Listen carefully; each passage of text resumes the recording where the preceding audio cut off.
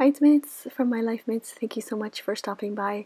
Today I want to do a haul video and I'm just sharing with you quickly the Ancora bag. I, uh, some of the things that I purchased from the Ancora store that will have to come in another video. I do want to give you a heads up though.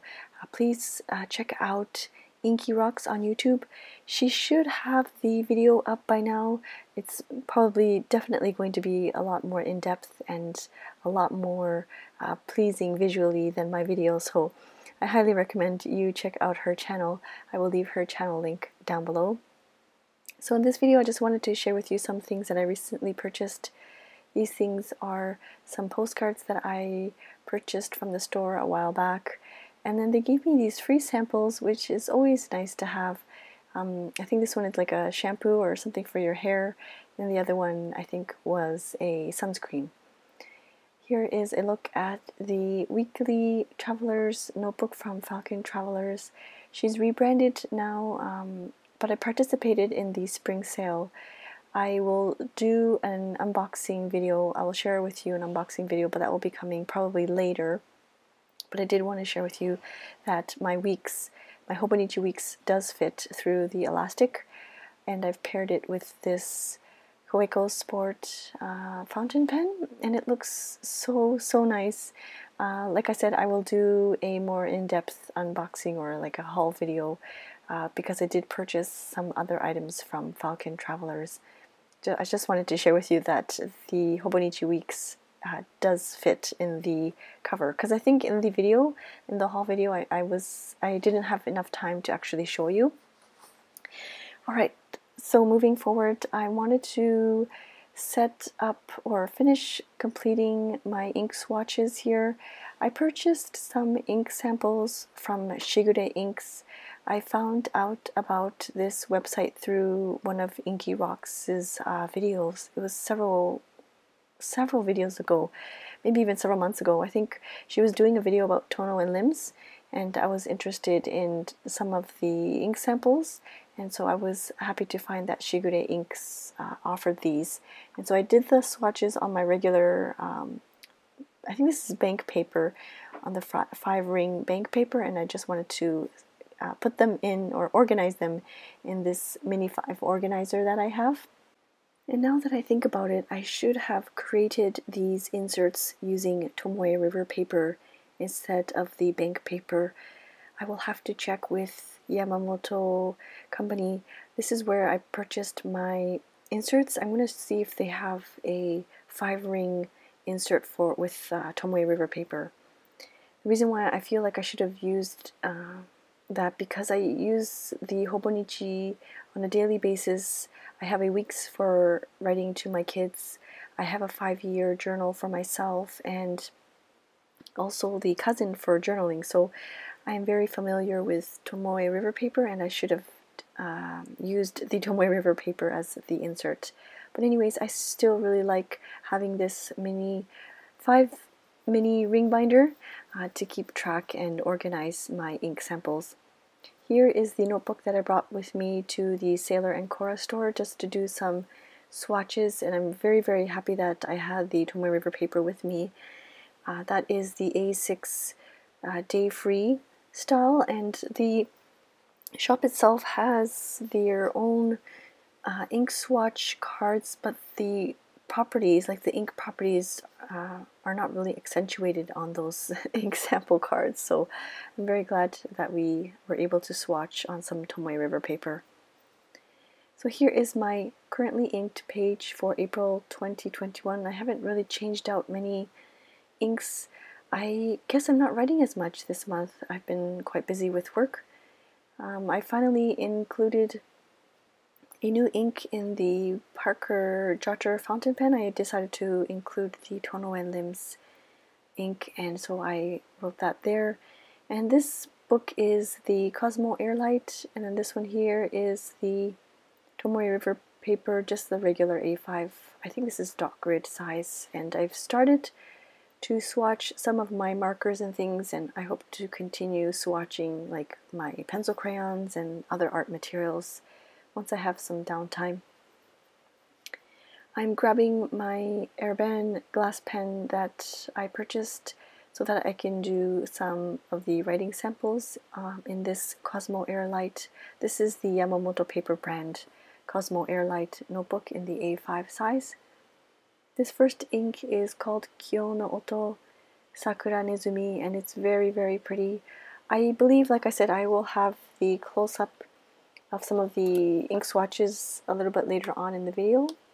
Uh, but yes, it is a very pretty ink color. I have never had or owned a Kyo no Oto ink uh, before, but I heard of it.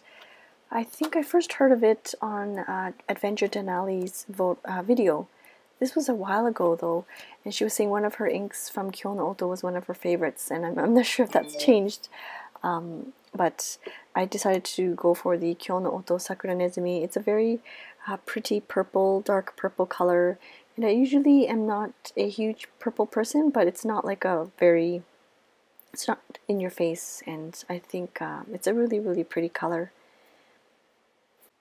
Alright, next on the ink sample swatch here is the brand Rohrer and Klingner. This ink color is called Alt Bordeaux, and this is the second ink sample that I've purchased from this brand, and I hear that it is quite, it's a quite common brand in Europe. And I think probably I will, in the future, most likely purchase more from them. I really like how it wrote, and it's a very pretty color. It has a little bit more pink um, compared to the purple on top of it, uh, and I just like how it writes, and I really like the shading as well. So it's a, yeah, it's a very pretty color. Next is the Tono and Lims Tokyo Full Bloom of Sakura. I was a little bit disappointed. It's a very bright pink and I wanted one for my Hobonichi cousin because I like to have a whole bunch of color in my journals and I think I will use this um, with a glass dip pen when I want to journal and I want to add color to my pages. I will most likely use a glass glass dip pen and reach for this ink. Um, but it's not an ink that I will that I will you know ink up a pen and have for quite some time. I don't think I will journal using this um, ink. I mean journal in my personal journal uh, using this ink. It's more for like my Hobonichi cousin and having some color as you know just to add some fun to my pages. Alright, so next on the list is this Tono and Lims. It's called Trust You and it is such an interesting ink to see. I, I don't know if you notice here on the tip of the glass dip pen, the actual ink color is a is a purpley gray color, um, like a faded purple color, and when you write, you can see that it looks there's bits of green in it. And then I'll show you a close-up later on in the video, but once it fully dries, it looks quite gray. and it's just so fun to see it changing the color and the shade uh, once the ink fully dries. So I think that part it's it's quite fun to write with, and I think um, similarly with the pink, I might probably oh I will pro probably just use a glass pen to write with this ink um, instead of actually inking up a pen. Next is this Tono and Lims BC Bacorium. This is another very interesting ink because it is constantly changing, I feel.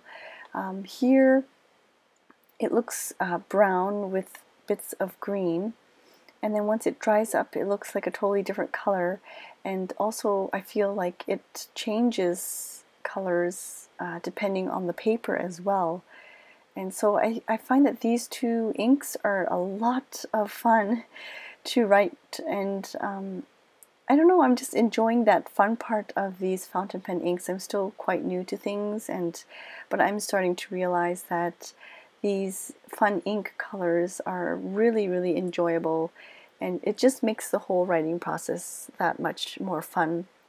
I'm not a huge writer to begin with, but having something like this uh, watching the ink dry and watching it change color and morph into something else I think is it just adds to the fun of it. So you can see there it looks a little dry now so that it seems more green than anything. Uh, this next one is also a very very pretty color. It's another Tono in Lims. It's called uh, Bara no Souretsu I'm not actually sure what that means, and I should probably research that.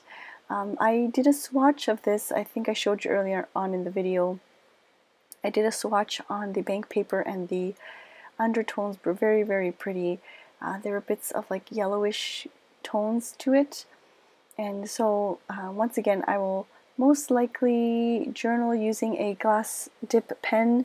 Uh, in my journal, I, I don't see myself writing long, like a lot with this ink.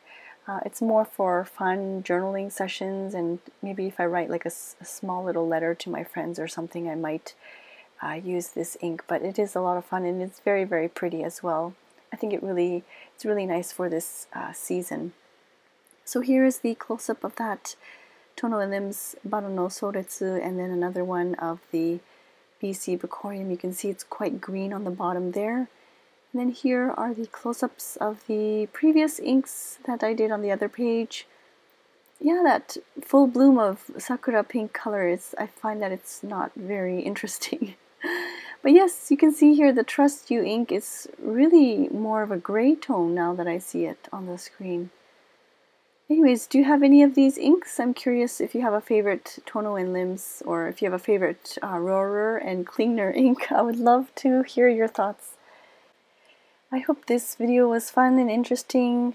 If you have any other recommendations or suggestions of videos uh, that you would like me to film, just leave them in the comments down below. As always, I really, really appreciate you for being here and stopping by. Please stay safe. I will see you soon. Thank you so much for watching. Bye-bye.